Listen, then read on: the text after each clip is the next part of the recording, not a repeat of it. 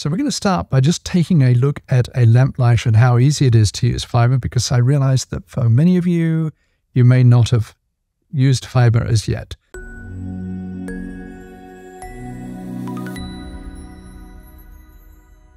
Let's now just stick it into the lamp lighter. This is what you would do if you've mounted a lamp lighter underneath the layout, and there's light. So you just stick that up into a building. So again, if we just cut the end of the fiber, we'll be able to see that it doesn't change the light at all. Very, very simple idea. So now let's go to the layout and take a bit of a look at that. What you see there are a group of swan neck lamps providing rather nice pools of light onto my little Rolls Royce over there. And you'll notice there's a church building over here, and that's quite nicely lit, and it's lit particularly at the front, which is very typical. But if I put my hand down over here, there's just a fiber that I stuck in 45 degrees and it shines up onto the church. In other words, you easily, easily spotlight um, objects on your layout using fibers. And I really like that idea.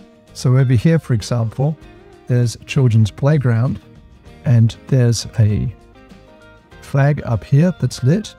But if I put my hand in front of the light, there it is, unlit and lit. And again, all I did was take a fiber and put it in at 45 degrees.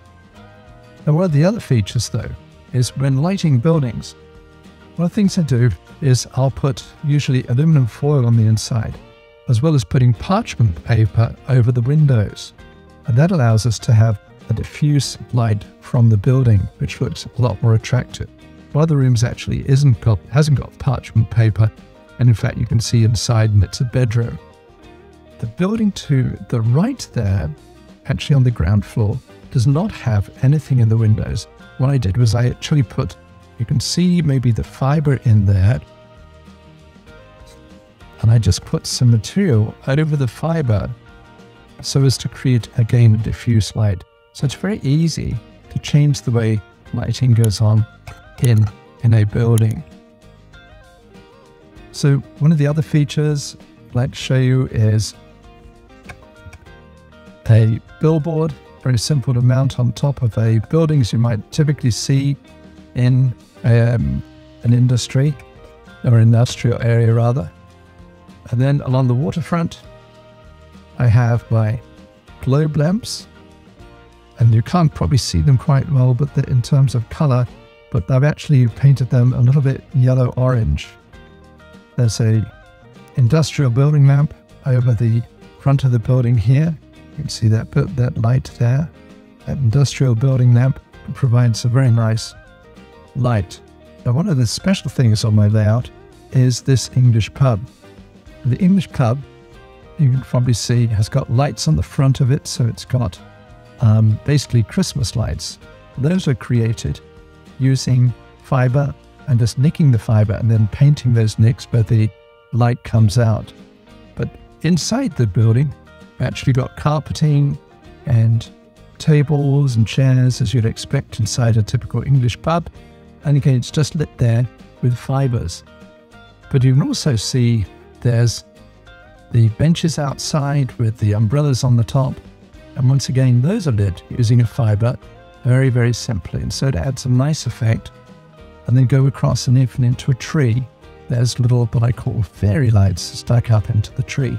So you really create some very nice scenery with fiber optic lighting. Now one of the other features we've got down here, what we're calling a DFL unit, it's a dedicated flasher unit. And this allows us to actually um, run a railroad crossing. But it's going to go past some detectors right now, and we're going to see something happen immediately. Yes, there it goes. So now we've got the railroad crossings and you'll see here, there's the flasher unit. You can see the lights flashing. What we've done is we're just taking some fibers, or we stick them into what we call fiber chimneys. So very, very simple design. So there's the train heading off. There's a detector that's just over, over here. And after it's gone past that detector, the whole system will return you off again. Trainz.com making dreams come true, one train at a time.